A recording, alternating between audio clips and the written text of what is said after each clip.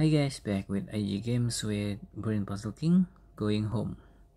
Level 39, help the old man. So you need to use the money to fix everything. The tricky part is the old woman from the outside, drag it to inside. And then the fan, you need to drag the money twice to change and then to turn it on. Now everything else with the money and the old woman the old man, the floor, the shelf, the ceiling, the gas tank,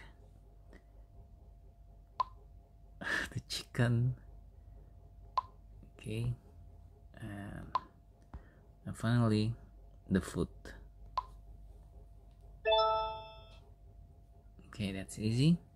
Just follow my steps and you're done will uh, you can pass to the next level okay thank you for watching. If you have any questions just ask in the comments below. See ya